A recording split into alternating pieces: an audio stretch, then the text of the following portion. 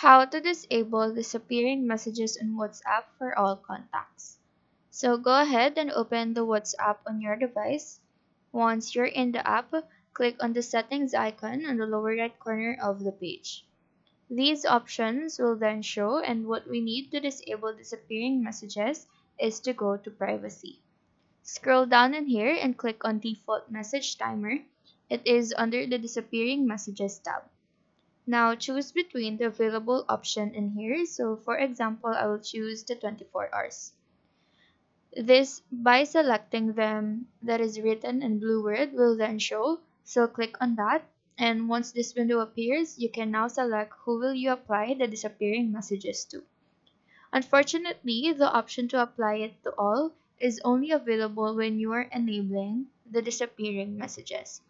Even if you turn this default timer to off, the disappearing messages for the conversation is still turned on.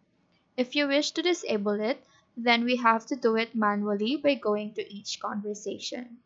Click on the name on the upper right part of the screen, click on disappearing messages and then turn it off. So that is how to disable disappearing messages in WhatsApp. Do let us know if this video helped you out and if you have any question feel free to drop them down below. Thank you for watching and have a nice day.